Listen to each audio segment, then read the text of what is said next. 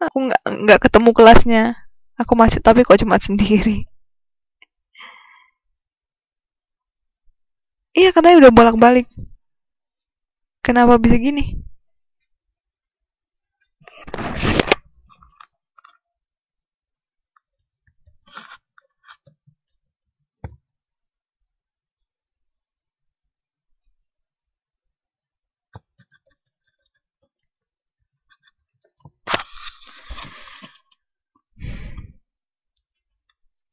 Semua bisa lihat PPT saya kan?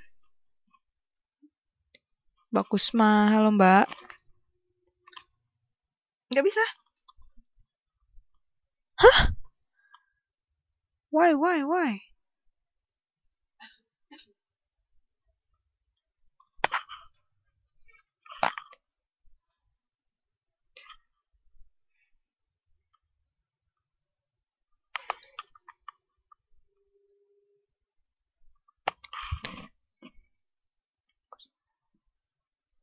Udah, oke.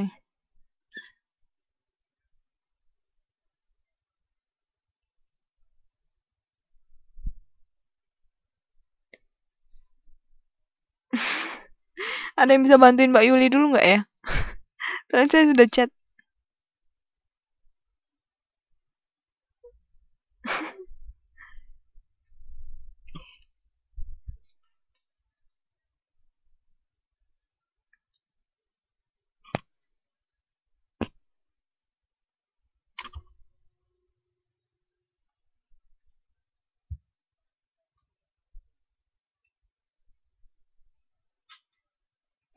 Udah, udah datang tuh mbaknya. Mbak Yuli.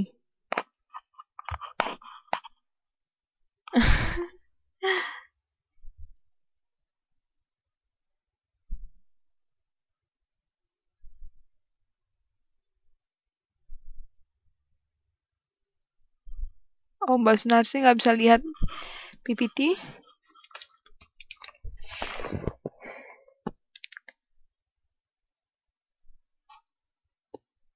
Uh, yang lain bisa lihat nggak ya biar saya kirim dari FB ya. Kalau misalnya ini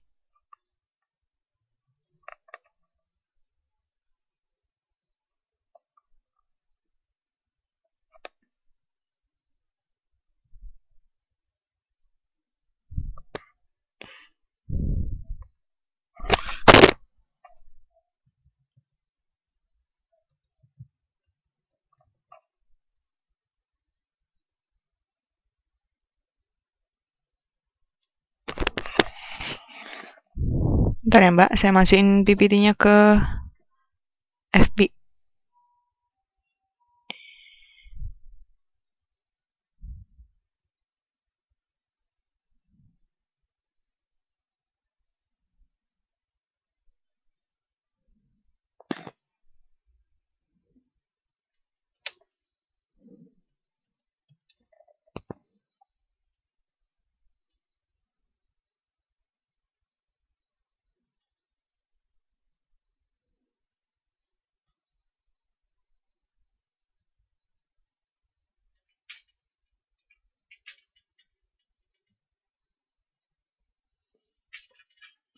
Oke, udah di post di FB Mbak ya. Kalau misalnya belum bisa lihat, di download aja bentuk PDF-nya. Saya udah kirim ke FB.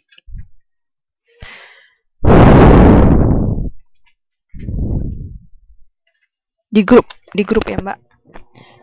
Uh, Mbak Yuli kenapa nggak dengar lagi? Aduh.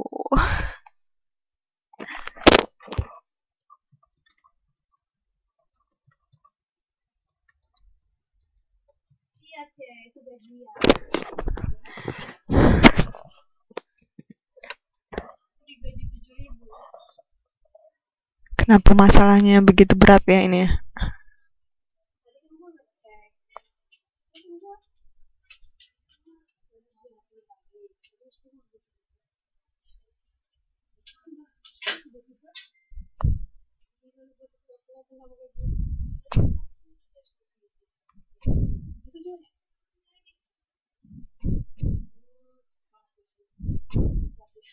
Ada Mbak Yuli. Uh, coba log out dulu Mbak.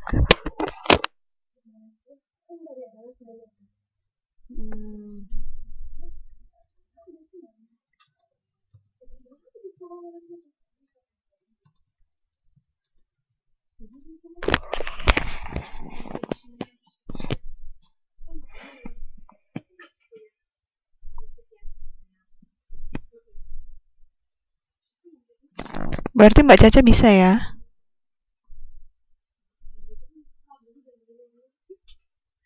Apa Mbak Yuli? Mbak Yuli udah ngomong nih. Berarti udah bisa dong ya? Oke oke. Mbak, Mbak Caca udah bisa. Mbak Yuli. Hmm, yuk. Harap diselesaikan masalahnya dengan segera supaya kita bisa mulai kelas. Mbak Yuli. Udah keluar ya? Oke deh. Uh, sambil menunggu Mbak Yuli kita mulai aja ya. Oke, okay. ini dari modul ketiga, topiknya itu penerjemahan cerita pendek anak. Jadi hari ini kita uh, membahas langsung ke penerjemahannya. Karena kalau yang kemarin kan kita masih cerita tentang apa itu fabel, apa itu novel. Nah, sekarang kita akan lebih ke prakteknya. Karena kalau misalnya cerita pendek sebenarnya udah hampir sama language pointnya apa-apa aja yang dipelajari uh, atau grammar-grammarnya itu sebenarnya hampir sama dengan novel. Cuma mungkin lebih ke bahasanya. Kalau novel kan mungkin lebih berat dan partisipannya uh, lebih kepada orang dewasa. Tapi di sini kan cerita pendek cerita pendek anak. Jadi bahasanya nanti akan lebih mudah dan pemilihannya hampir sama dengan fabel cuma Bedanya adalah cerita pendek biasanya uh, lebih real. Beberapa dari cerita pendek real, beberapa tidak, tetapi akan lebih real daripada uh, fabel. Oke. Okay. Oke, okay. ini poin yang penting untuk diingat. Yang pertama, uh, sebelum menerjemahkan baca dulu ceritanya. Terus harus tahu ini siapa yang nyanyi? Ini ada yang sambil nyanyi ya. Halo Mbak Yuli bisa dengar? Gimana udah bisa Mbak Yuli? Pak Yuli.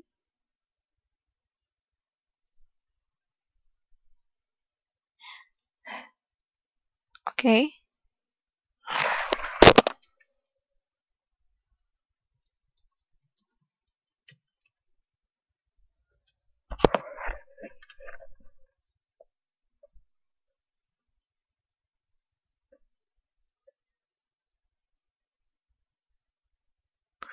Bayul mungkin mungkin di mute dulu deh.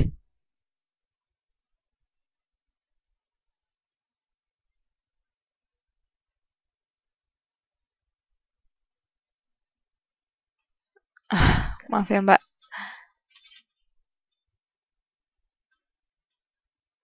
Mbak Yuli.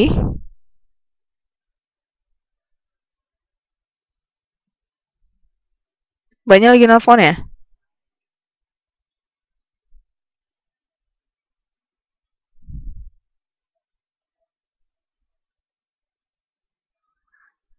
Oke. Okay.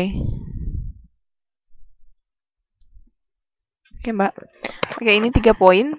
Yang lain masih dengar ya. Kita fokus dulu. Ini ada tiga poin yang harus diingat sebelum kita menerjemahkan cerita pendek. Yang pertama tadi membaca keseluruhan cerita. Uh, setelah itu selami anggap bahwa mbaknya adalah anak-anak gitu. Karena ini kan cerita anak-anak. Uh, jadi kita harus menemukan apakah cerita itu eh, kira-kira cerita yang nyata atau sekedar imajinasi. Kalau misalnya ceritanya imajinasi, mungkin dia disamakan dengan fable ya. Kalau fable kan asli, ingat fable itu asli uh, cerita hewan. Tapi kalau dia misalnya cerita hewan dan manusia, itu termasuk dalam cerpen. Cerita pendek. Oke. Okay. Uh, eh, bedanya adalah dengan beda bedanya dengan uh, novel Novel itu biasanya untuk yang lebih dewasa. Kalau cerita pendek, ceritanya namanya juga cerita pendek ya, ceritanya juga udah udah, lebih pendek. Dan karena ini khusus ke, kepada anak, jadi e, bahasanya juga lebih ke anak-anak dan isi cerita juga e, lebih ke anak-anak. Dan yang kedua, don't translate the bad words. Jadi kalau misalnya ada conversation, Terus ada kata-kata yang buruk, terjemahkan dengan uh, bahasa yang baik. Karena partisipan kita adalah anak-anak. Gitu. Setelah itu realize the idioms. Jadi idioms itu banyak. Itu idioms maksudnya peribahasa. Peribahasa nanti akan banyak istilah-istilah muncul atau kiasan-kiasan. Nah, kalau muncul seperti itu, eh, mbaknya search dulu. Search dari idioms, jangan ditranslatekan literal. Search idioms, setelah itu nanti eh, kalau sudah di search artinya apa, penjabarannya, setelah itu dicari di peribahasa Indonesia tepatnya yang mana gitu. Kalaupun mau translate sendiri, eh, jangan literal. Jadi memang kalau bisa buat atau enggak kalau misalnya tidak mampu buat bintang-bintang buat bahasa Inggrisnya terus buat bintang baru di bawah dijelaskan idiomsnya itu. Oke. Okay. Bisa? Bisa, bisa. Gimana lanjut? Ada pertanyaan? Semuanya bisa dengar ya? Oke,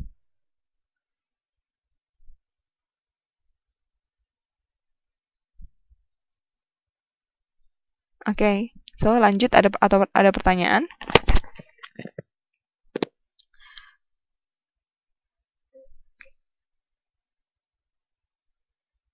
Usahakan sebagai penerjemah itu mbaknya menyelami kehidupan anak-anak. Maksudnya bukan harus jadi anak-anak ya. Maksudnya uh, supaya bisa menerjemahkan berarti harus pakai bahasa-bahasa yang anak-anak pakai.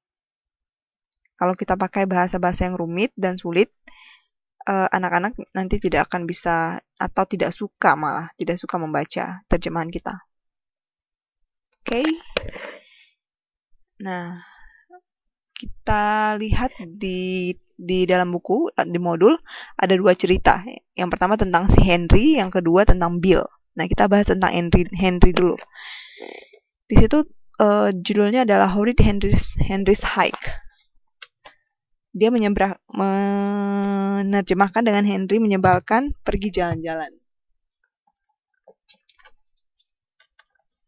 Saya merasa kurang kurang cocok sih dengan itu. Ada yang mau mengganti kata horridnya?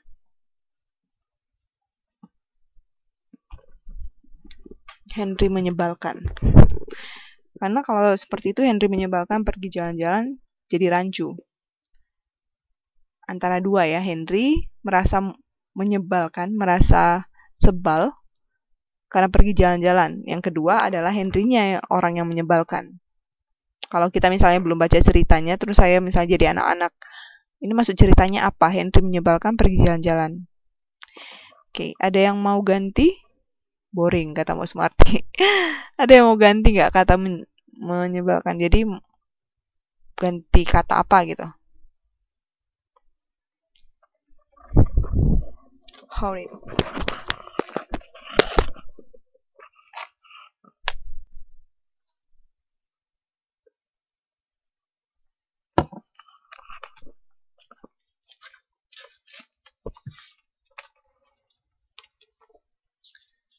Hello? Hello, hello? Is there anyone there?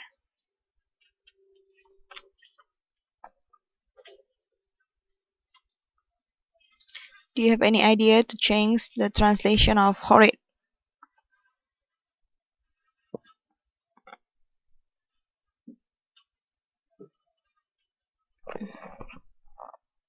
Yep, Mbak Caca mungkin ada idenya. Mbak Maslina? Eh, Mbak Elis? Hari ini sedikit ya. Sedikit sekali.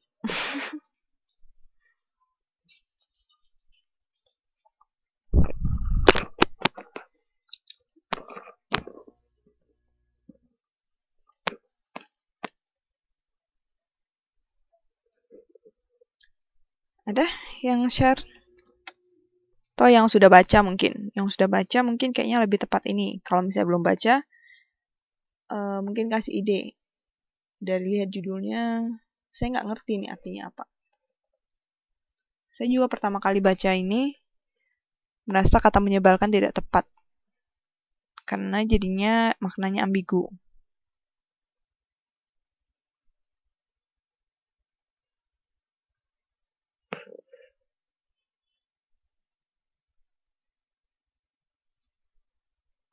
Terus di situ kata hai juga dia mengartikannya jadi kata kerja.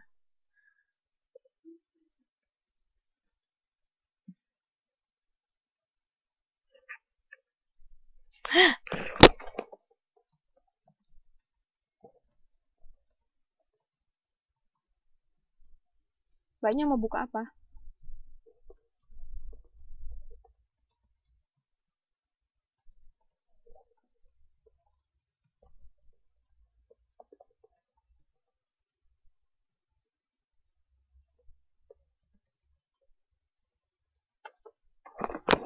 Dari grup mbak. Coba lihat di grup. Udah saya attach.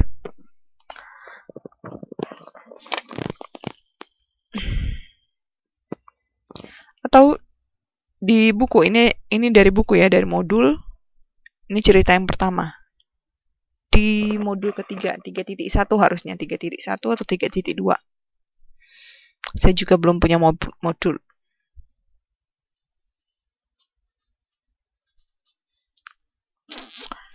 Ayo yang lain, jangan diam-diam saja. Kasih ide. Henry menyebalkan. Pergi jalan-jalan. Bagus nggak ya judulnya? Kalau bagi saya sih nggak. Kalau menurut mbaknya udah bagus, boleh komen. Udah bagus mas, eh, mbak gitu atau apa. Dan kalau bisa kasih alasan. Henry yang sedang sebel. Henry yang sedang sebel. Oke. Okay. Boleh Mbak Maslina kita tampung dulu idenya. Henry yang sedang sebel. Terus Henry yang sedang sebel pergi jalan-jalan gitu disambung Mbak ya. Pergi jalan-jalannya tetap atau pergi jalan-jalannya di, di ganti.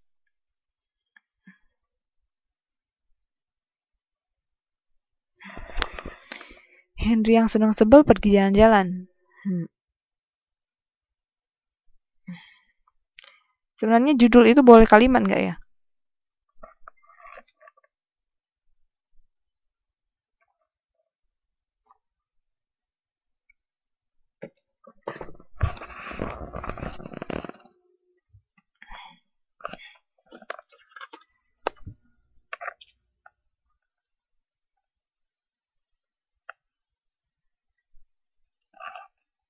Oke. Okay. Nih. Menyerah semuanya. sedang ngambek. Jadi Henry sedang ngambek pergi jalan-jalan gitu, Mbak. Henry sedang ngambek dia pergi jalan-jalan. Henry sebel pergi jalan-jalan. Henry sebel pergi jalan-jalan. Kenapa dia sebel? Lu kayaknya nih gak baca cerita deh, makanya begini. Nampak belum baca modul.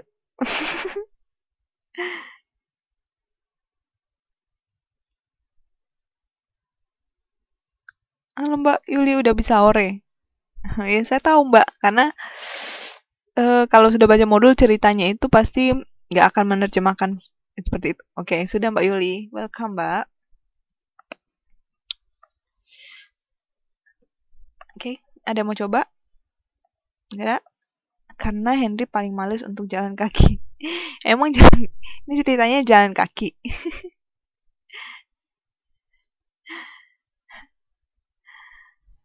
Terus bilangnya gimana judulnya mbak? Karena Henry paling males untuk jalan kaki, jadi Henry sebab. Judulnya kepanjangan dong. Coba pilih judul yang menarik. Oke, saya kasih clue deh. Horrid Henry ini melekat terus-menerus. Horrid Henry, Horrid Henry, jadi dia merekat. Jadi nanti dia akan kalau si penerjemah di buku dia selalu menerjemahkan dengan Henry menyebalkan, Henry menyebalkan terus terusan. Barannya kayak kemarin kita punya apa ya? Hmm, misalnya misalnya cerita fabel. si kancil yang malang. Jadi si kancil yang malang terus yang malang itu tetap melekat kepada si kancil. Jadi ini juga seperti itu. Henry menyebalkan melekat terus. Jadi nanti kayak paragraf pertama ya. Dia buat Henry menyebalkan memandang keluarga keluar jendela. Makanya dibuat menyebalkan itu kata besar, uh, huruf besar karena dia melekat kepada si Henry. Itu gelarnya si Henry. Jadi tepat nggak gelarnya si Henry itu kita buat Henry menyebalkan?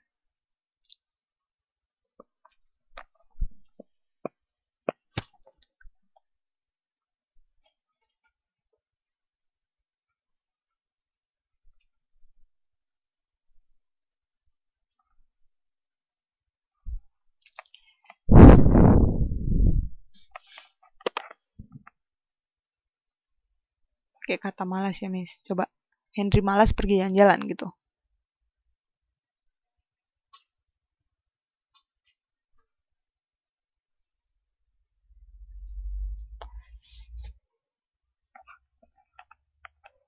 Cocok nggak ya? Maaf saya ngajak mbaknya berpikir ya. Saya maksudnya biar kritis untuk jadi penerjemah. Yo, jangan malas-malas ayo. Share your idea.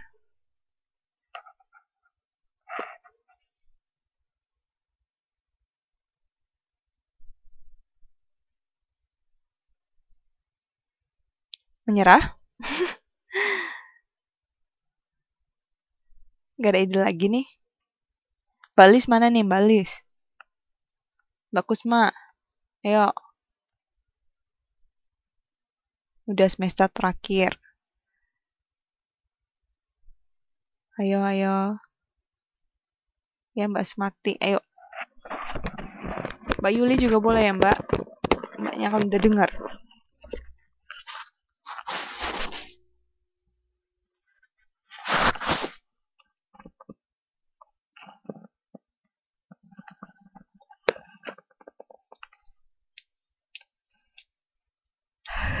curhat curhat yang pasti ini udah yang terakhir deh bagus Mayo menyebalkan tepat nggak di situ?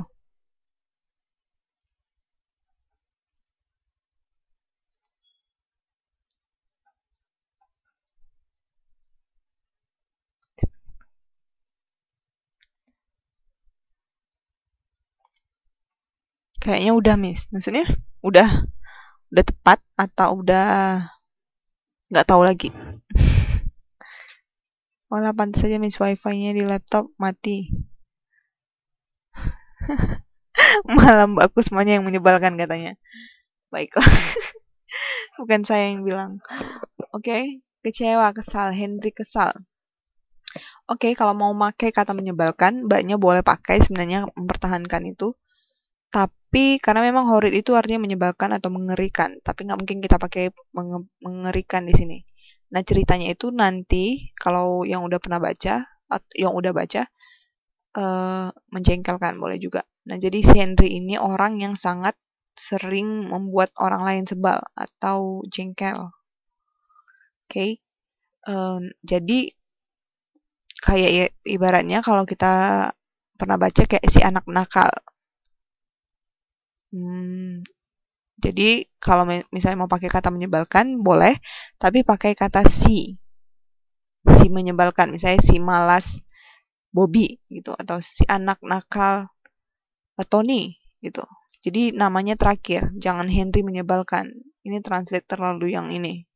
Walaupun ini dari buku ya, jadi jangan terlalu percaya pada modul.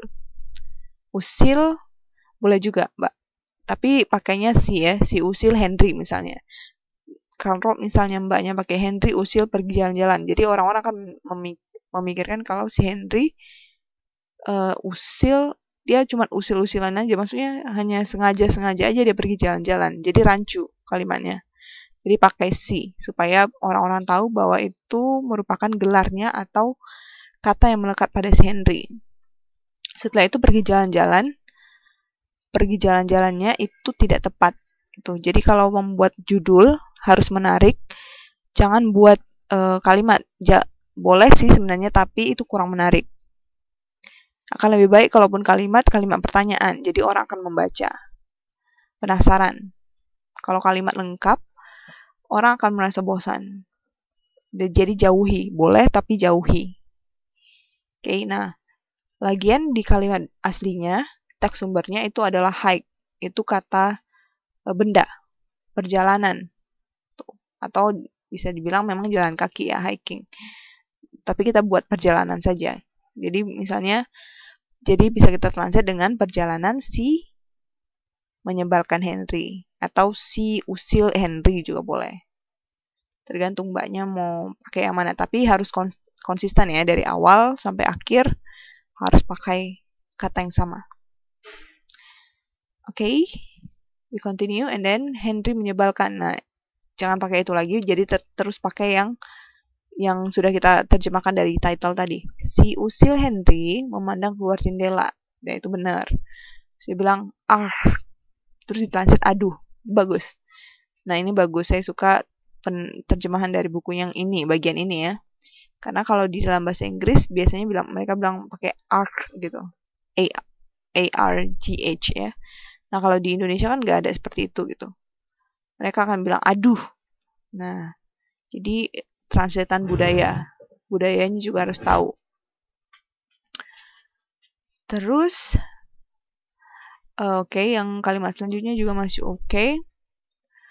Uh, sampai, tapi aduh kan, kalau kesakitan nih, uh, belum tentu, belum tentu kalau misalnya, aduh saya lupa gitu kita nggak bilang kesakitan karena budaya kita kadang-kadang memang suka bilang aduh kan. Aduh aku lupa gitu. Bisa kan bukan karena kesakitan atau aduh aku telat gitu. biasanya bukan karena ini itu ya Mbak Kusma ada mau komen? Belakangnya cuaca yang cerah gak luas. Al, Al Mbak Yuli eh, Mbak Elis Hah?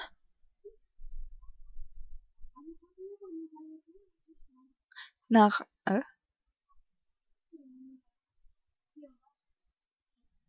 Nah, nah ini, nah itu dia, Mbak dan mbak-mbaknya nih nampak belum baca cerita, yo. Jadi si Henry ini nggak suka, dia nggak suka pergi jalan-jalan makanya dia merasa aduh dia pengennya tuh hujan. Kalau mbaknya lihat ke paragraf kedua dia bilang why couldn't it been raining? Mengapa tidak turun hujan? katanya gitu. Atau hujan es atau badai es. Jadi dia merasa ya dia menyiksa bagi dia. Jadi dia ngerasa kenapa harus cerah? Aku tuh pengennya hujan gitu. Makanya dibuatnya reds. Reds itu artinya tikus ya tapi bagus menerjemahnya buat sial gitu Haks. Haks. Kira-kira anak-anak tahu nggak sih haks? Eh, Mbak Kusma. Kalau misalnya cerpen bebas atau cerpen remaja, iya haks. Atau arcs juga ada ya. A, A, A R G H. Jadi terjemahannya langsung A R G H itu. Langsung kalau misalnya cerpen uh, remaja. Tapi kalau untuk anak-anak, kayaknya nggak usah pakai itu deh. Ntar mereka baca oh nggak ketawa aja oke okay. mereka bacanya juga a a r r g h Halo Mbak Yuli, ada mau komen?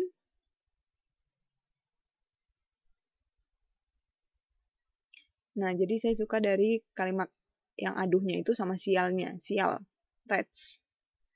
Jadi, reds itu kan harusnya tikus, tapi dia benar-benar mengartikannya dengan baik karena di Indonesia nggak ada nggak mungkin kalau kita sedang mengeluh kita bilang duh tikus gitu orang-orang melihat emang ada tikus ya tapi dia lebih ke sial gitu oke okay. and then nah setelah itu di paragraf ketiga any minute any second it would happen oke okay. Uh, seharusnya kan ini biasanya diartikan dengan beberapa menit, beberapa menit, beberapa detik itu akan terjadi. Nah ini juga bagus, semenit, sedetik lagi akan terjadi. Jadi kayak seakan-akan dia sedang menghitung waktu. Kalau kita bilang